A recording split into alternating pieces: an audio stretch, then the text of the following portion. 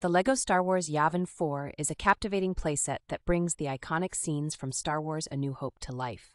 With over 1,000 pieces, this set offers a detailed command room, pilot briefing room, medal ceremony stage, and a buildable tree with an elevating watchtower, providing hours of creative play.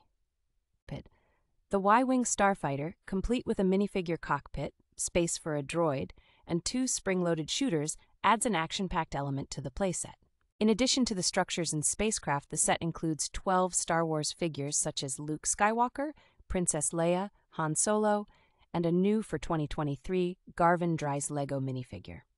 This Lego set is not just a fun playset, but also an educational tool that enhances the creative experience and is ideal for building together with friends and family.